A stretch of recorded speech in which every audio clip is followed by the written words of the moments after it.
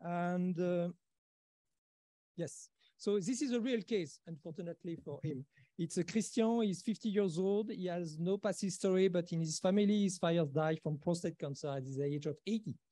He asked his GP since three years to do a PSA, and GP said, no, it's not in the guideline. You 50, uh, your patient, uh, your father died from prostate cancer at the age of 80. It's not a family uh, uh risk of uh, having a prostate cancer, so no PSA. And finally, at the age of 50, he go back to his GP, ask for PSA, and he has his PSA that was at 19. DRE, it was a T3 lesion. He had biopsy, and we found a Gleason 8 on five out of the 12 biopsies. So just tell me, how can I switch the slide? You do it or I do it? I do it with, uh, yes, with the right button. Yes, okay. So which exam are you going to ask for this patient? Are you going to ask for CT scan, bone scan, PET choline or PET PSMA, CT scan and bone scan, or everything? Who want to answer? One answer. Five, all? Three? Three, it's a PET PSMA, okay? Yes, you, you have a large access of PSMA in your country? Yes? Okay. Because in France, uh, since June 1st, 2022, we were able to use PSMA for recurrence of PSA after local treatment. And we are not allowed to use PET PSMA for the for diagnosis, okay? So I totally agree with you. The, the best option is to go for PET PSMA in this situation. Uh, and this is what he had. Um, we know that this PET PSMA is much more efficient in terms of sensitivity and specificity compared to uh, uh, um, CT scan or bone scan, and of course, better than PET choline. Uh, because he was in France, he had the CT scan and bone scan, it was negative. So what is the definition of the locally advanced prostate cancer? T3, Gleason 8, okay? High-risk prostate cancer. If I have a lymph node on the, in the pelvis on the CT scan, can we consider it locally advanced prostate cancer or is it a metastatic prostate cancer? Unfortunately, no. It's considered if you have one or two lymph nodes in the pelvis on your, your CT scan, it's considered again, and, it's, it continues to be a locally advanced prostate cancer. And for this is very important in terms of definition because for the treatment, it's going to be completely different. So uh, you know that what we call locally advanced prostate cancer, it's patients with a T3 lesion Gleason 8, 9, 10, or PSA greater than 20. And you have a very high risk prostate cancer that is a clinical T3B and uh, T or T4 and any N1 in the pelvis. So this is uh, what we are going to discuss today. Of course, we know that this kind of cancer is definitely the kind of cancer that will kill the patient if you don't do anything. And you will have to discuss with him and to discuss in the tumor board what kind of treatment you are going to give him because we know that we can use surgery, we can use radiation therapy, we can use hormonal therapy. Uh, and uh, in which order, in which situation, this is what we are going to discuss. So this patient is young. He has a PSA of 19, Gleason 8, negative CT scan and bone scan. What is your first line treatment? It's a small T3.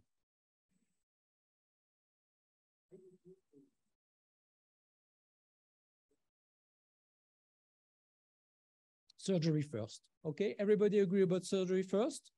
Yes. Is there any option to give him hormone therapy before surgery to have a regression of the tumor and to have a nicer dissection of the surgery, nicer dissection of the prostate? No. It's in discussion. Okay, for the moment, neoadjuvant hormonal therapy, it's not allowed. It's not allowed. We don't have to do it. It's in the, the, the guidelines, but we'll see that there is some new strategy and clinical trial about these, these possibilities. So if you look at the, the guidelines again for this patient, definitely he can have he cannot have uh, active surveillance or watchful waiting. He has to go for surgery or radiation therapy. Surgery, uh, there is a lot of publication concerning the, this uh, locally advanced prostate cancer surgery. Most In most of the cases, it's a retrospective and monocentric studies. There is no prospective randomized trial comparing surgery and radiation therapy. But because you read the, the, the newspaper of urology, you, you know that in the north of Europe, there is one ongoing trial looking at this issue to prospective trial, looking at either going for surgery or for radiation therapy. Uh, it's uh, there is two important things to know when we go for surgery for this kind of patient. First, the good news that it's still between uh, 15 and 27 percent, 30 percent of the patients who still have a PT2 disease, so with a good prognosis.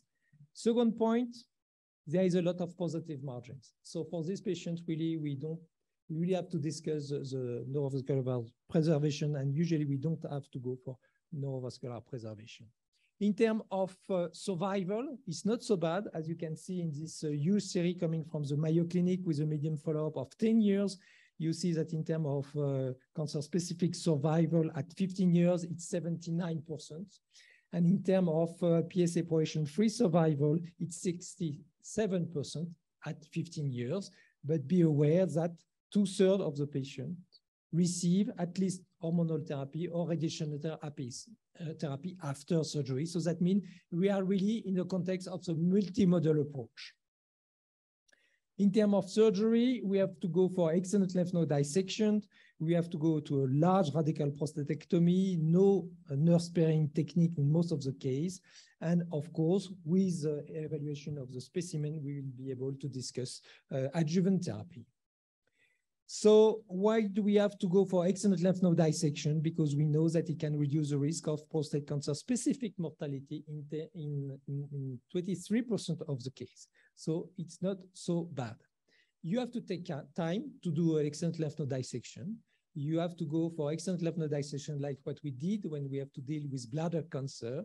We, you have to remove, of course, the, uh, the, the obturator area, the area under the uh, obturator nerve. You have to go uh, in this area in a common artery and pass in the opposite side of the ureter to dissect the presacral area the number of uh, nodes that you have to have on the pathology report when you do this kind of surgery is between 20 and 30, 40 nodes, okay? Very important. And this is an important point for, for to, to say that you did a good extended lymph node dissection. So what do we have in guidelines? So surgery is a reasonable option on selected patients with high-risk prostate cancer. It has to be in a multimodal approach. And if we go for surgery, extended lymph node dissection must be performed because the estimated risk of positive lymph node is between 15 and 40% of the case.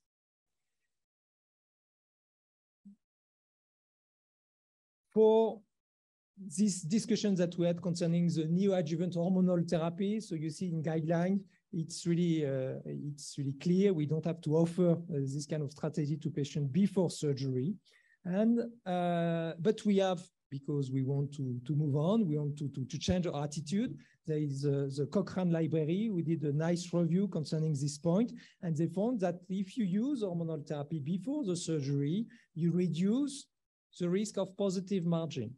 You reduce the proportion of patients with PT3 disease.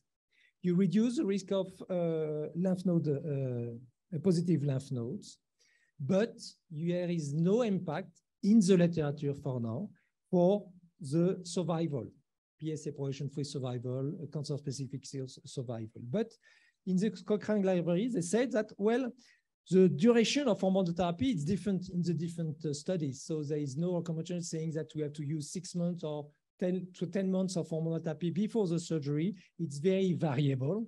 And uh, they found that there is, in a certain way, a certain impact of this hormonal therapy in uh, PSA progression with the duration of the hormonal therapy. So if you give hormonal therapy for one month, it's nothing, okay? If you give hormonal therapy for six months, it can have a small impact on, on PSA progression-free survival. And second point, most of these studies were done with just a, a regular agonist or antagonist of LHRH. And now we have this new hormonal therapy. And this new hormonal therapy, as we know, are much more effective in terms of efficacy. We saw that, that uh, in castration-resistant prostate cancer, in hormone metastatic prostate cancer. So why not in locally advanced prostate cancer? So there is some data now that we have. Uh, there is a small study. It's the beginning of this story, I, I believe. Uh, it's a, it's a, a small, a sh short uh, publication concerning 65 patients who were randomized in two groups. First one receiving uh, abiraterone plus LHRH agonist versus just LHRH agonist for three months before surgery. And you see that 85% of the patients were high-risk prostate cancer with a Gleason score of more than eight. What do we have on the pathology? Look at the tumor volume. Tumor volume regress dramatically. This is a tumor volume with a, a patient who received only LHRH agonist. So the tumor volume after uh, this uh, three months of hormonal therapy was 2.5 millimeter. And if you use this abiraterone, the tumor volume shrink to 0.4 milliliter in this group of patients.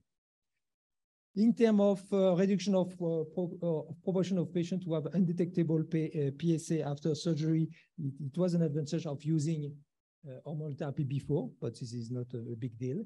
But in terms of survival, for the moment, we don't have any answer. So we have to wait. We have to wait for a prospective hormonal trial that are, are launched. In this table, there is a, a different uh, uh, publication on this, uh, the use of this new hormonal therapy before surgery. I show you the, the first one, we're using abiraterone, but there is also other one using as enzalutamide and, uh, and with the same endpoint and same conclusion. That means you reduce the risk of positive margin, you reduce the risk of positive lymph nodes, uh, you reduce the proportion of patients with uh, PT3, and you reduce dramatically the tumor volume. So there is ongoing trial, as uh, I told you. There is one important one that is a Proteus trial, uh, in, which a patient with a locally advanced prostate cancer receives six months of hormonal therapy, either LHRH agonist or agonist plus apalutamide. Then they have surgery, and then they continue again for six months of hormonal therapy. And we will see in terms of, of uh, um, of metastatic-free survival and percentage of pathologic complete response, what will be the, the, the, answer? I was a little bit afraid when I saw this uh, with study uh, coming because in terms of, uh, I think it was very, uh, it was very uh, positive to think that we'll have a, a, huge proportion of patients with a PT0 disease on the pathological examination because I deal with this kind of cancer with, since a long time, uh, and uh, I didn't find any PT0 after hormonal therapy. So we'll see. We'll see the result. Uh, at least we, we have this study in, uh, in Henri Mondor. We did more than 25 patients. We don't have any PT0, but one of my colleagues from, from Rennes told me that he, he had one or two cases with a PT0. So we'll see. So at least in terms of tolerance, of course, it's six months of hormonal therapy. So you have to discuss that with your patient. And second point, in terms of surgery, I would say it's easier. It was like a, a, a false uh, thinking uh, coming from our, our colleague and our, our, past chairman saying that when you give hormonal therapy, it's super sticky to remove the prostate. It's a very difficult surgery. No, you have a smaller prostate. The, the, the, the tumor shrink into the prostate, or at least is regression of the, of the tumor volume. So it's really uh, I won't say easy surgery, but it's it's it's it's like the other. It's no no problem. So Proteus is, is the first one. There is Eradicates, who include um, include um, a decipher score that is a score of prognosis. So so they randomize the patient according to this uh, to this score, and they use uh, darolutamide instead of apalutamide, and we'll see what's going what will be uh, the future. Again, we have uh, other approach also to, to, to deal with this uh, high-risk prostate cancer, and we have this lutectomy, that is the use of P lutetium PSMA in patients with high-risk prostate cancer before surgery. So again, it's patients with high-risk prostate cancer, they are treated with lutetium, and then they had surgery, and we'll see in terms of uh, endpoint what will be uh, the, the evolution of the patients. So if we continue the story of our patient, he has some question concerning radiation therapy. What is the dose of radiation therapy? Does he need hormonal therapy? All of you know that, of course, there is a lot of consensus concerning the, the dose of hormonal of radiation therapy that we have to give. It's going to be at least uh, 75 degrees gray uh, uh, for, for this patient.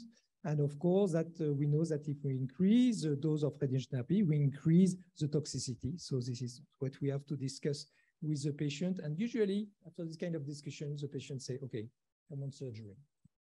But at least you have to discuss that, the, the, side effect of the, of the radiation therapy, because we are in a multimodal approach. So probably at a certain point, we need radiation therapy. But as you know, the side effect of radiation therapy when you do it after surgery are much lower compared to the side effect of radiation therapy that you have when the prostate is on site.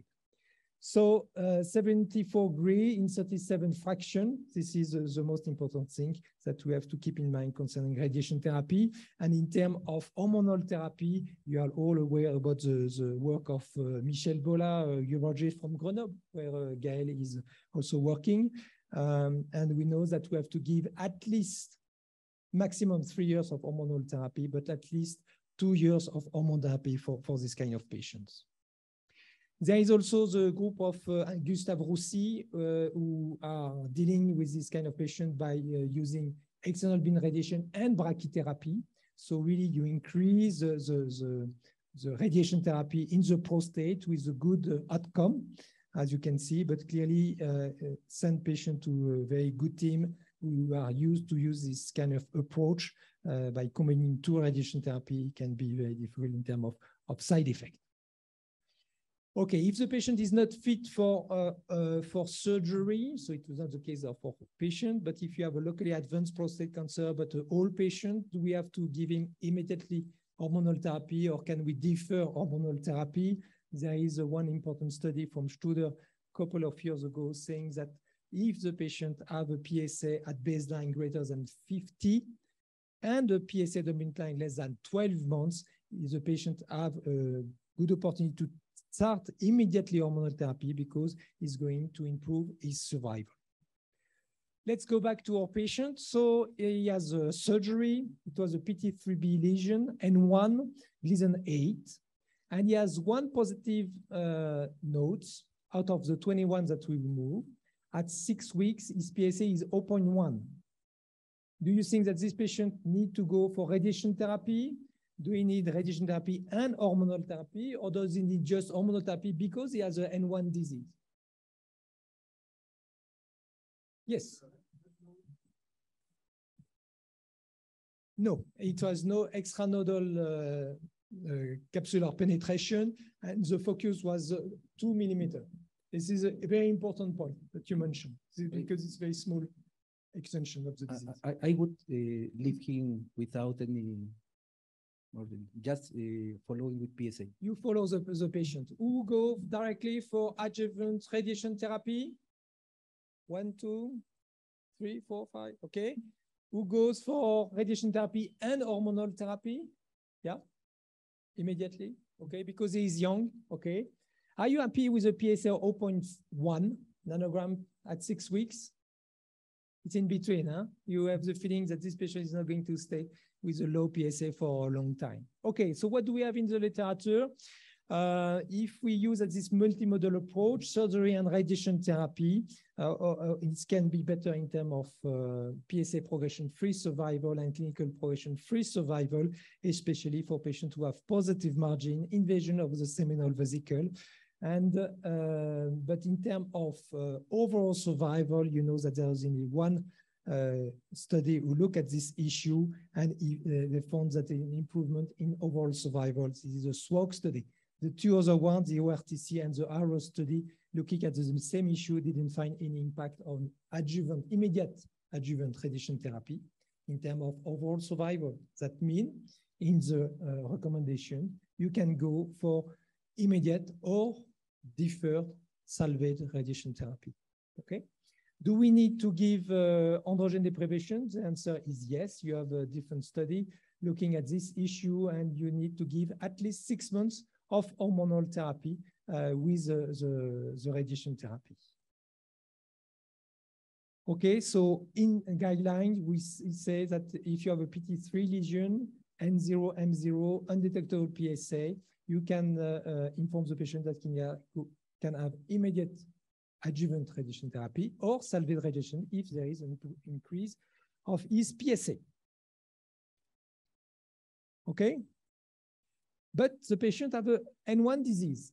Okay, no capsular penetration, two millimeter of cancer. Does he need hormonal therapy? Well, most of you said he needs radiation therapy, and this is what we did for, his, for, for this patient. Uh, for, for the N1 disease, uh, there is this uh, very important study that all of you knows. It's a Messing study published a long time ago. It includes patients with, uh, with N1 disease with two groups, either going for immediate uh, androgen deprivation or just observation. And you see that in terms of overall survival, not in terms of PSA progression or clinical progression, in terms of overall survival, there is no, uh, we say in France, no photo. It's really a clear advantage of uh, having uh, immediate androgen deprivation. But it's not exactly the same patient that we had to deal with because in, in this situation, he has a he has an extended lymph node dissection. He has less than two nodes, two, two positive nodes. So you see that in the guideline concerning your patient, we can go for extended expectant management when we have a patient who undergone extended lymph node dissection and who had less than two positive nodes with microscopic involvement and a PSA less than 0.1 at six weeks. So this is a possibility. So what I have to say concern and to conclude concerning this locally advanced prostate cancer, definitely for young patients, it's multimodal approach. If we go for surgery, include extended lymph node dissection and discuss before the surgery the risk of having adjuvant radiation therapy or salvage radiation therapy and the need of hormonal therapy for at least six months combined with radiation therapy. If the patient goes for radiation therapy alone, two to three years of hormonal therapy and high dose of radiation therapy. And if the patient is unfit for surgery or local treatment uh, with radiation therapy, for instance, and you think about hormonal therapy, you go for hormonal therapy if the PSA is greater than 50 nanogram per milliliter, and if the patient has the PSA the time, less than 12 months. Thank you very much for your attention.